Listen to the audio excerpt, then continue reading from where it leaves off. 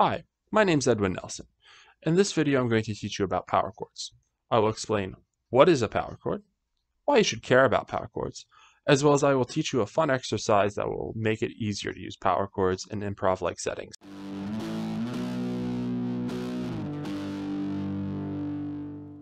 What is a power chord, you may ask?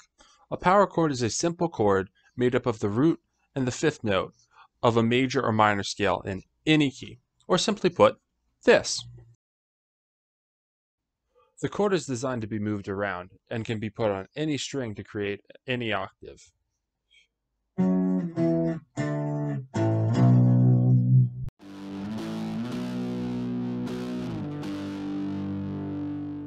While power chords sound cool, they can also fill in for any other chord. While it might not sound as good as the original chord, it can be a quick fix for any chords that you don't know or just haven't had time to practice. Also, since the chord doesn't use the third note of the scale, it is neither major or minor, which is one less thing to think about. If you wanted to take it one step further, you could turn into this version of the power chord for an extra root note and a fuller sounding chord.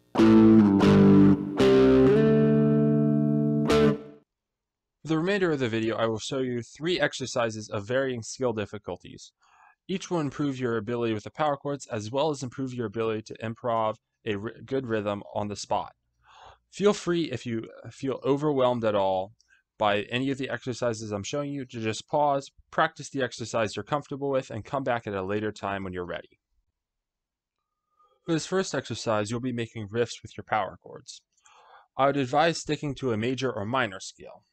If you're not very familiar with your major or minor scale, I'd recommend just keeping your root notes on the dots on your guitar on the E or A string. While it might not seem like a lot of notes, you can still make some very cool riffs with it.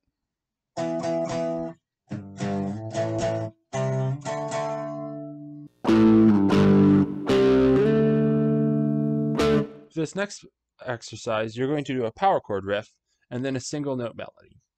You may use any scale you want for the single note melody, or I will put a pentatonic scale at the very end of this section. I'd advise putting that, up at the third fret and either ending or starting there. Once you're finished, your riff should sound a little bit like this.